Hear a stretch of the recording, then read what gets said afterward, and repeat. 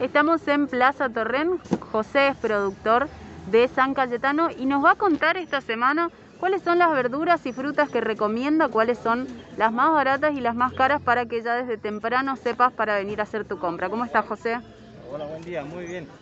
Y bueno, la verdura, lo más barato que somos nosotros, lo que, lo que tenemos son las verduras, lo, lo que les recomendamos nosotros. Hoy, obviamente, lo que subió esta semana fueron, el tomate subió hoy, el morrón rojo y la berenjena y el zapallito están muy caros.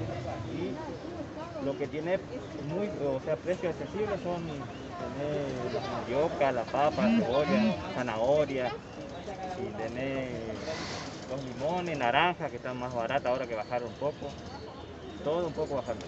¿Cuánto sale más o menos para llevar eh, una bolsa familiar para cuatro personas? Y depende si quieren cargar bien, por lo menos tener por mínimo ponerle 700 pesos. ¿Que llevaría qué, por ejemplo? Y ponerle un kilito de cada cosa, un kilito de papa, un kilo de cebolla, un kilo de zanahoria, de las frutas, choclo, todo, todo lo, un combo por todo. ¿La frutilla bajó? Porque es algo que la gente pregunta mucho.